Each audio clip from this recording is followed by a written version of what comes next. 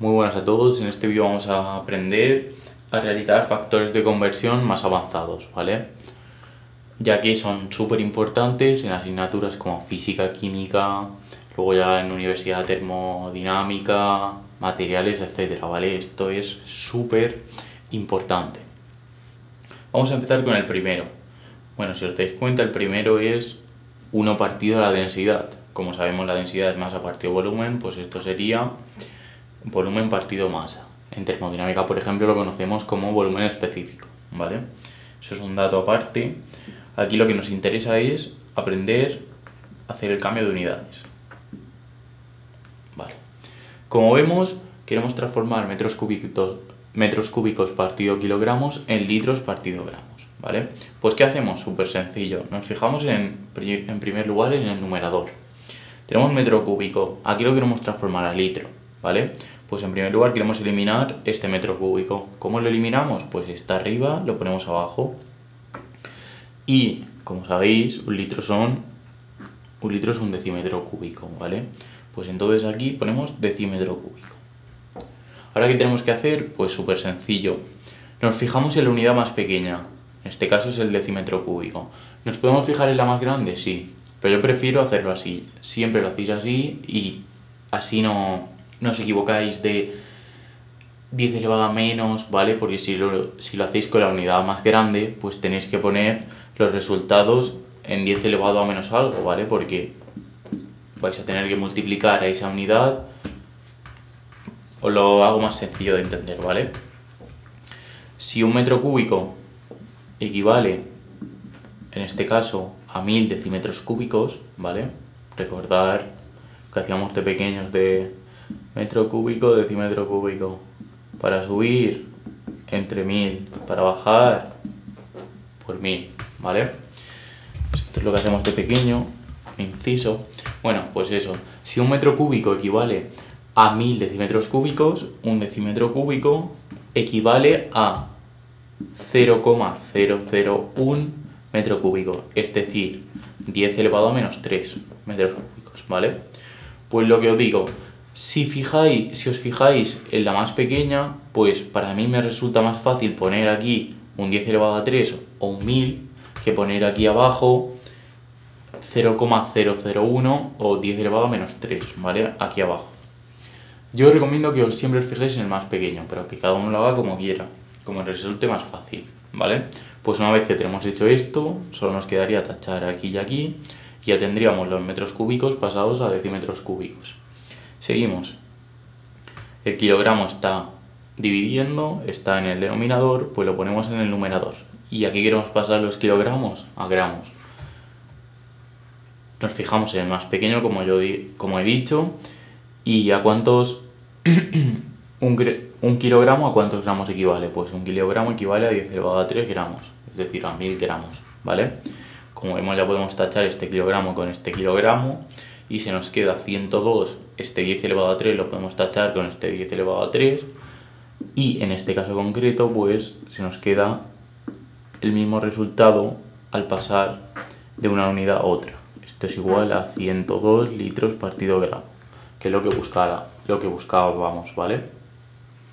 Muy bien, ahora vamos a hacer este que como veis es bastante más largo, pero como se hacen siempre igual. Súper fácil, súper sencillo, siempre lo hacemos igual. Vamos con este. Aquí tenemos 10. 10 metro cuadrado por Kelvin por caloría, años por kilogramo. Os quiero decir que si por ejemplo os pone atmósferas, pascales o algo así, que lo paséis a vatios, ¿sabes? Cosas así un poquito más difíciles, pues os darán una relación. Por ejemplo, aquí os voy a poner que una caloría es igual a 4,18 julios, ¿vale? Esta relación es la única que tenemos que tener así en cuenta, ¿vale? Vamos a empezar. ¿Qué hacemos? Pues en primer lugar vamos pasito a paso. Nos vamos a fijar en el metro cuadrado, que lo queremos pasar a centímetro cuadrado. ¿Vale? Tenemos un metro cuadrado que lo queremos pasar a centímetro cuadrado. Pues ponemos el metro cuadrado abajo para tachar y eh, nos fijamos en el más pequeño. ¿A cuántos metros cuadrados, perdón, ¿Un metro cuadrado a cuántos centímetros cuadrados equivalen? Pues si nos fijamos en la escalerita esa que hacíamos de pequeño, ya no la voy a volver a repetir, pues equivale a 10 elevado a 4, ¿vale? De metros al cuadrado a decímetros cuadrados van 100 y de centímetros y de decímetros cuadrados a centímetros cuadrados van otros 100, es decir, 10 elevado a 4, ¿vale? Ya podríamos tachar este y este. Ahora vamos con los Kelvin. Los Kelvin los queremos pasar a grados centígrados. Está en el numerador, pues lo ponemos en el, en el denominador. Y aquí ponemos grados centígrados. ¿Cuántos grados centígrados? Perdón, un Kelvin a cuántos grados centígrados equivale? Pues equivale a 273,15, ¿vale? Vamos a poner 273. Muy bien, pues ya tendríamos. Ya tendríamos esto hecho y solo nos quedaría tachar Kelvin con Kelvin. Seguimos. Nos fijamos en las calorías. Está en el numerador, pues la ponemos en el denominador. Aquí lo queremos pasar a julios. Pues como veis, la relación os la he dado antes, por si alguno no lo sabía, que una caloría equivale a 4,18 julios. Ahora eso nos quedaría tachar caloría y caloría y ya lo tendríamos. Sigo aquí abajo, ahora vamos con el denominador. Años está en el denominador, pues lo ponemos en el numerador y lo queremos pasar a segundos. ¿A cuántos segundos equivale un año? Pues voy a hacerlo así. Un minuto, 60 segundos equivale a un minuto, ¿vale? Por una hora tiene 60 minutos, por un día tiene 24 horas, por un año tiene 365 días. ¿Vale? Todo esto equivale a pasar años a segundos, ¿vale? Recordar, un, un minuto tiene 60 segundos, una hora tiene 60 minutos, un día tiene 24 horas y un año tiene 365 días, ¿vale? Multiplicando todo eso, tenemos años a segundos. Muy bien, pues ya podemos tachar este con este, ¿vale? En este caso, este con este. Sigo. Ahora, kilogramos arriba, ya que lo queremos tachar y queremos pasarlo a gramos. Pues un kilogramo equivale a 10 elevado a 3 gramos, es decir, a 1000 gramos. hemos hecho antes. Súper sencillo. Entonces, ¿qué hacemos? Pues tachamos este con este. Y ahora cogemos la calculadora y lo único que tenemos es que operar, ¿vale? ¿Cómo se opera? Pues súper sencillo. Lo único que tenemos que ir es... Voy a hacerlo con vosotros, ¿vale? Tenemos 10 de partida. Por... Nos fijamos, pues lo multiplicamos por 10 elevado a 4. Por...